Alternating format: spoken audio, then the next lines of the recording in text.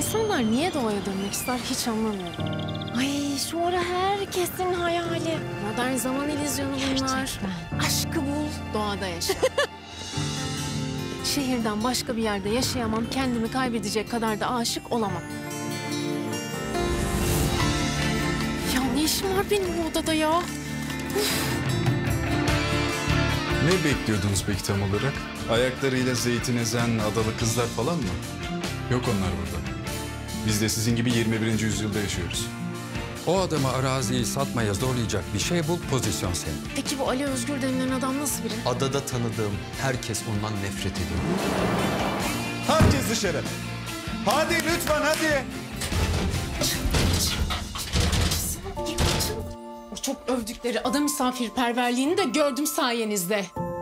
Biz izinsiz girene misafir demiyoruz ama.